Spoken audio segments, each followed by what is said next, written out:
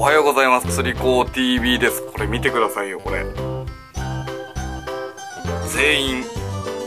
暴走って書いてあるんです。これあの、アウトレイジの最終章のですね、初回特典でついてくる、まあ、視力矯正メガネなんですけどね、ここにあのピンクの文字で全員暴走っていうふうに、これ掛け時がいつかわからないっていうことで、ちょっと今日はあの、竿を買ってきたよっていう動画なんですけどね、ちょっとこれ、こういうタイミングじゃないと書けないかなっていう感じなんで、これをかけて、えー、今日は撮影していきたいと思います。で、これ、竿をですね、新品で1個買ったんですよ。で、ビッグベイトロッドが何か欲しいなということで、いろいろ、まあいろんなのありますからね、どこのメーカーにしようかなから始まって何オンスぐらいの投げようかなとかいろいろ熟考した結果、新品で久しぶりに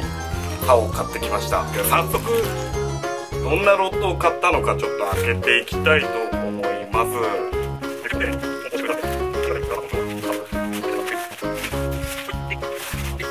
はいベイブレイズ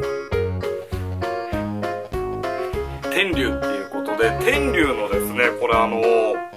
ボートシーバスで使うためのビッグベイトロッドなんですけどもいろいろなスペックとか自分の使い方を考えるとブラックバスでもぜひ持って使えるなと思って。で何よりもですね結構信頼しているそういう大きいの得意な友達がですねみんななんか最近この竿を使っているっていうことでで一回あの触らせてもらったら非常にリールをつけた時のバランスがいいで気持ちいい。俺も欲しいってなってですね気がついたらあの1ヶ月ぐらいは熟考したんですけども買ってしまいました。まあこれにするかあのレジットデザインのちょっと短めのビッグベイトロッドにするかすごい迷ったんですけどもうんまあ自分の場合ボートのシーバスも好きですしあとはですねちょっと竿両方あったんでこう曲げ比べた時にいろいろ考えてこの天竜のですねベイブレイズっていう竿これにしてみました。早速どんな感じの竿なのか、え、見ていきたいと思います。まずこれグリップが入っていて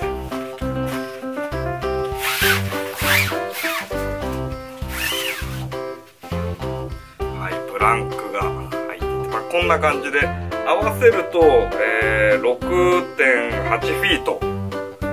結構、うん、7フィートアンダーのですねちょっと短めの竿なんですけどもここでこういう感じでついででですねこうガイドが先端の方までダブルフット、ね、前と後ろに前と後ろにフットがある。丈夫めなダブルフットが先端の方から配置されていてですごい欲しいなと思ったのがこのガイドの直径が大きいんですよね。海の釣りの場合あの P ラインにリーダーを組んだりして使うことがあるので、えー、あんまりここが最近流行りのあのマイクロガイド仕様みたいなやつだとですねガガガって引っかかっちゃうんですね。まあ、引っかかっても出ていけばいいんですけどもあんまりその接続部が何回もぶつかるとラインブレイクにもつながるっていうんでまあここら辺のガイドが最初から大きな直径で作られているっていうのがまず最初にいいなと思ったところとあとは軽い。これがですねベイブレイズの番手がですね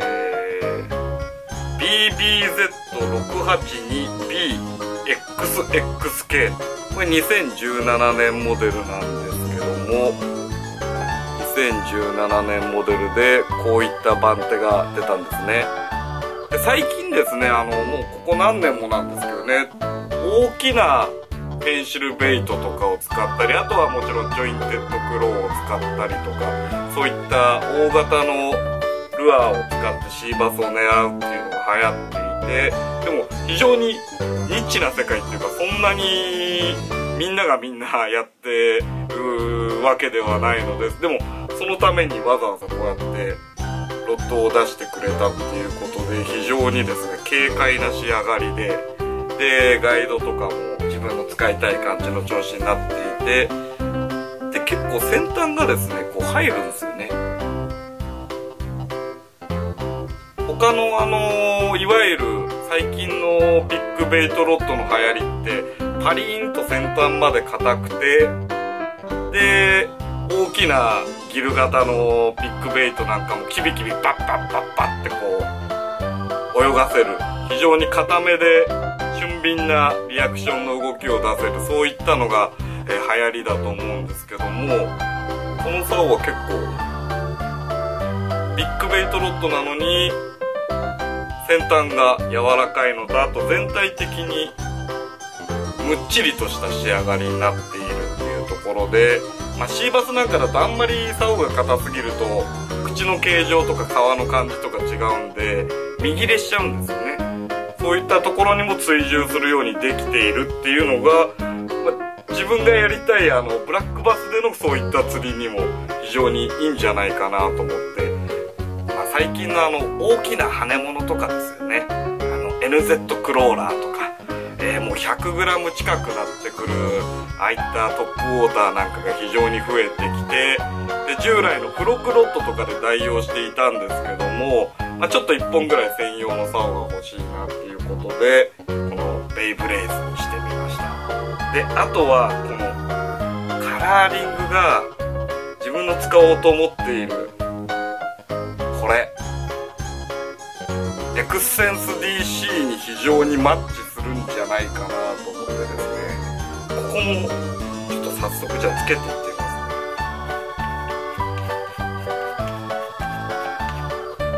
このカラーリングがぴったり合うよなっていうところで。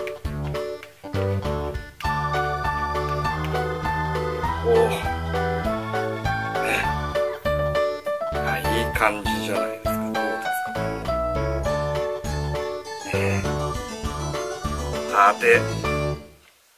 手元にしっかりこう重心が入ってくるんでちょっとこれは実際釣り具屋さんなんかでこれシーバスコーナーとかに今2017年出たばっかりなんで結構置いてあるんで実際釣り具屋さんで持ってもらうとお軽って感じになるんですよね。で軽いんだけども 20g から 150g まで投げれる。150g っていうと5オンスですからね。だから今まであのジョインテッドクローとか2オンス前後のが主体だったんでそこら辺まで投げれればっていうことはまあエクストラヘビーとかそういった竿でまあ投げれて気持ちよく使えたんですけどね。最近は本当4オンス近いっていうかまあ 100g 切るもしくは 100g 超えてくるようなそういったルアーなんかも非常に多くなってきて、えー、そこには自分の手持ちの竿だとですねちょっと対応できないなっていうところが出てきて実はこの前もあのジョイクロでシーバスとかあとは青物釣ってたんですけどね気が付いたらあの先端の方のシングルフットガイドが吹っ飛んでいてなんか投げるたんびにカラカラなんだカラカラなんだと思って見たらガイドが取れちゃってたんですよね。シングルフットなんでまあそこまでの使い方想定してないよっていう感じでまあもまあ結構丈夫な竿なんですけども取れちゃっててでまあまたくっつけて巻き直してエポキシもかけましたけどもどうしてもですねちょっと自分の手持ちの代用の竿でそういった大きなの投げてるとだいぶ無理が出てきたなっていうところでこの新兵器を導入してみました。でこれそうだな竿これでねあの竿単体の重さもちょっと測っときます。これ映らないかもしれないんですけどもあのいつものルアーを測っている容量の、えー、測りでこの竿単体で何グラムかちょっと測っていきたいと思いますねベイブレイズは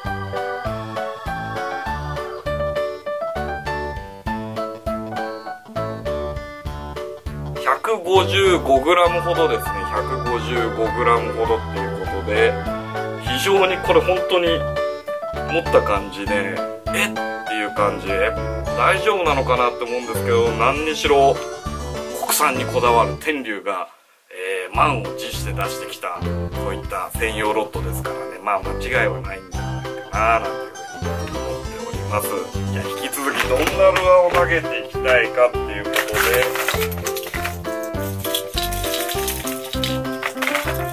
あとねここら辺の NZ クローラー。あこういった NZ クローラーとかねこれは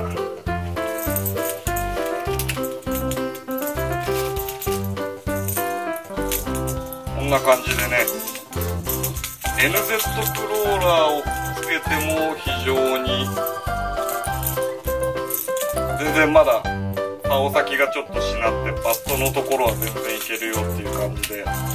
の組み合わせですね。この組み合わせがまずもってやってみたいなっていうところであとはあのジョインテッドクローなんかに比べてねだいぶ重いこのブルシューターとかはこれもフローティングなんですけど 98g ぐらいあるんで。ブルーシューターなんか昭和しても全然。あただ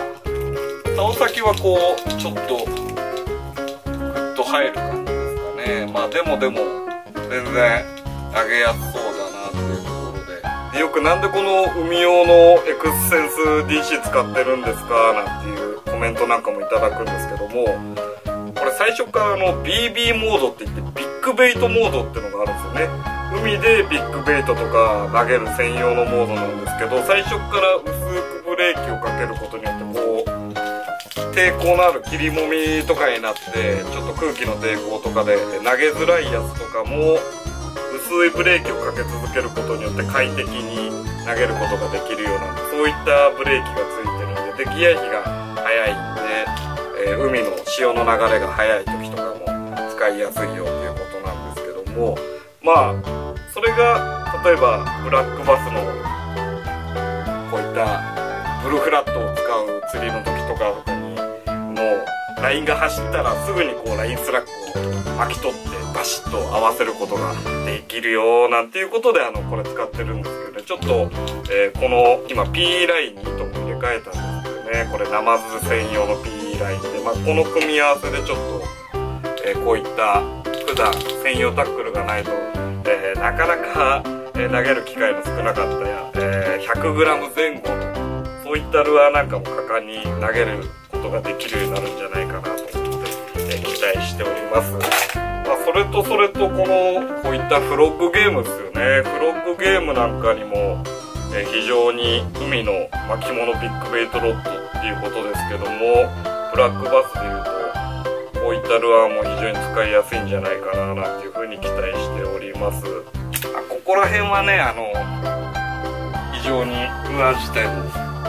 軽いんでまあただ先端が若干柔らかいんで非常にキャストなんかもしやすいんじゃないかなっていうふうに期待しております。こういうカバーとかにぶっ込んで、えー、やる釣り。ねこういうのにもいいんじゃないかななんて。まあまあ期待はすごい膨らんでるんですけどね、え徐々に寒くなってこういうので、え出ない時期に差し掛かってきたんでちょっと早めに現場に持って行ってですね試したいのとあとはシーバスの釣りは12月の末ぐらいまで、え結構ビッグベイトゲームとかですね引き続き楽しめますからね、えチャンスがあればまあシーバスでも使ってであとはせっかく買ったんでそのブラックバスですね、えそういったとこでも使っていこうかなと思うんですけどもこれのコンセプトのところでそのシーバスのチャーターボートとかでこうガンネルって言って非常に投げやすくするために船のヘリが低いんですよね。そういうところでも軽快に使えるように6.8フィートにしてありますよっていうえ歌い文句が書いてあるんですけども。っていうことは非常にあの亀山ダムとかのレンタルボートねああいう釣りでも非常に使いやすいんじゃないかなっていうことで結構まあ場所は違えど船の形状っていうのが非常に似てるんで、まあ、そこであのレジットデザインの6.5フィートぐらいのビッグベイト専用の竿も、うん、そういったレンタルボートとかで使いやすいようにっていうことで短い取り回しで投げやすいですよっていうコンセプトなんですけども、まあ、これも似たようなコンセプトで作られてるんで多分亀山ダムなんかでの釣りにも非常に使いやすいんじゃないかなというでで価格がですね定価が3万9000円なんですけど各種割引とかを併用してだいたい今お店だと3万5000円前後で買うことができます、えー、まあねちょっとねそんな安いもんではないんですけどもただあのー、専用のデプスとかガンクラフトとかねああいう老舗の昔からビッグベイト、えー、竿を作ってるよっていうところのだとまあちょっと釣り具屋さんでも触ったり見たりしたんですけどね、えー、どうしても5万6万、えー、してきちゃいますんでね。予算3万ちょいぐらいで何かいい竿ないかなって考えるとまあこれとかレジットデザインとかあとシマノとかからもいろいろ出てますけどね。大体結構うんその5オンスまでしょえる竿ってなると7フィートの長さを超えてきてあと結構長さが出る分持ち重りもどうしても多少はやっぱ丈夫な竿なんで出てきちゃうんですけどね。ほんとこれ釣り具屋さんでこうふっと持ったしお軽っていう感じになる、えー、面白い竿なんで、えー、しばらくですねこれ使い込んでみたいと思います。というわけで、えー、本日の釣り子 TV はですねこちら天竜の、ベイブレイズこれのビッグベイトモデル。これをブラックバスとシーバス用に買ってみてこういった動画でした。はい。釣り子 TV でした。